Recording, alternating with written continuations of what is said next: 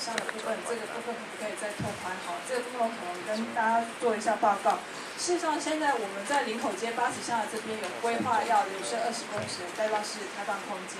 那事实上呢，这二十公尺的开放空间呢的部分呢，再加上原来还有八公尺的道路。那如果说未来我们在做这个呃设富用地的这个规划设计的时候，如果考虑到说这个呃必须要再增加车道来做呃这个呃疏解这个交通的话呢，我们事实上其实是可以在这二十公尺里头来做调整。那如果就那个时候开发规划的时候来做设计呢？呃，目前的这个周边的这个道路的这个状况呢，是可以呃被呃允许的状况的时候呢，我们可能会尽量是建议是说，呃，退出来这二十空间尽可能是作为人行、车行，然后跟民众休闲的空间。所以实际上还是必须要看这个呃规划的时候的这个所有的交通的情境，然后再来做假设。那是不是请交通局我们李科长？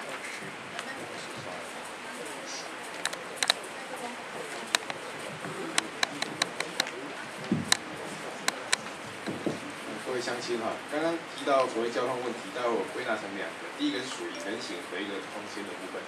那陈武这个呃发呃都发局的一个邵科长已经提到，在未来这个所有基地的规划，其实对于行人的空行人空间留的是反而是比现行状况之下是要求更多，会更留更多的，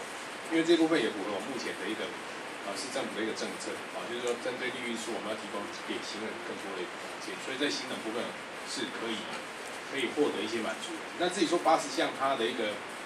就人流来看的话，未来人流它主要还是往捷运这个方向，就是靠这个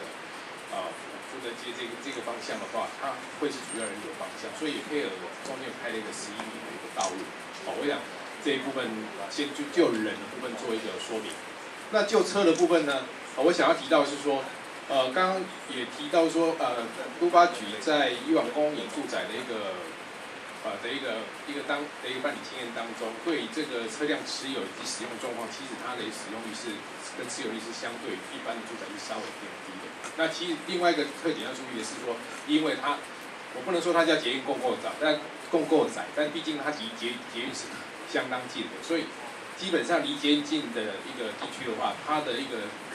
自小客车的使用率，本来它因为大众运输的方便，捷运的方便，它的一个持有跟使用降低，所以它为什么在计算？它的一个车辆持有会降低，那基本上就是说，你用大众运输用的多的话，自然会对你的一个道路的影响会降低，这是我们也需要的这样的状况，所以它才有可能把所谓多出来的一停车空间释放给周边来解决目前啊目前这一些住宅还没有更新之前啊这个停车不足的问题啊，我也想做两个补充。好，谢谢李科长目前说明。那既然讲到交通，我就请捷运局中规科的黄雅成黄科长也来补充一下捷运的最新状况，让大家知道好不好？来，谢谢。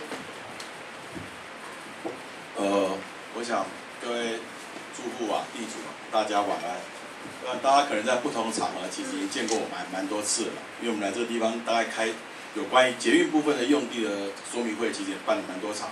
啊，当然在此我还是要感谢各位这些里长还有这些里民的支持。其实，在西东沿线这部分呢，目前应该曙光是已经露出来了。那整个的用地的一个协调来讲呢，大概也获得了大家的一个一致的共识。那所以我们在这个台北市都委会的一个审议阶段来讲，在专案小组部分呢已经开完了，那目前已经有初步的共识，大致上还是依照大部分这个地主的期望来进行所谓的土地开发。那在这个地方来讲，大家很快我们就会进入到大会。如果一切顺利的话呢，我们当然还是希望齐成来配合这整个广池地区，还有所谓福德街地区的整体开发。就如同刚刚各位所看到，其实市府呢本身就是个团队。今天所看到的这些单位出来的，其实我们虽然今天不见得每个人回答到你们的问题，但是在做整个广慈案来讲呢，大家是一体的。我们包括了发展的部分，包括住宅，包括社会，包括社福，包括交通，当然还有我们捷运的工程来讲，全部是结合在一起的。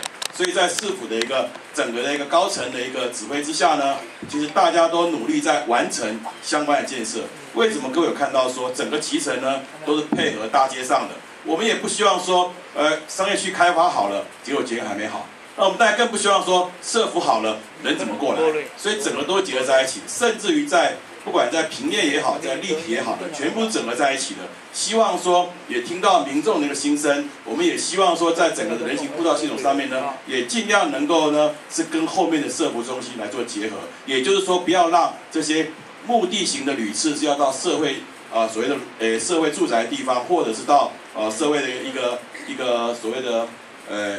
社服中心的一个使用呢，不要再走到其他的巷里面去。但是呢，就如同刚刚这位先生所说的，确实确实捷运呢，它的输输载量真的很大，我们这个是重运量，好，跟着新一线接在一起重运量。所以今天如果说一个车站来讲，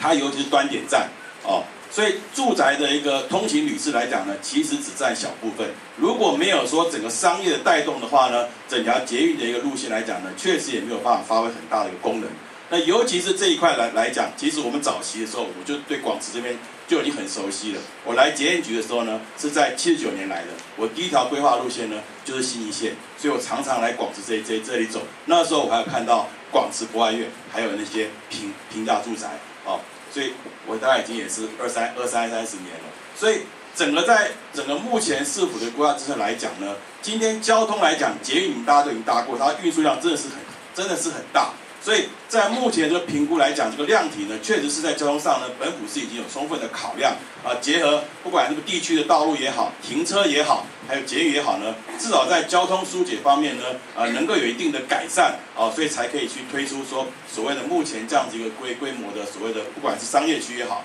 或者是住宅区也好，我想这个在市府的一个规划上来讲呢，是是全部都有考考量到。还有呢，我再次还是谢谢大家的一个支持，让我们捷运新义东源线呢能够很顺利的在很短很短的几天内呢就能顺利开施工开始，谢谢。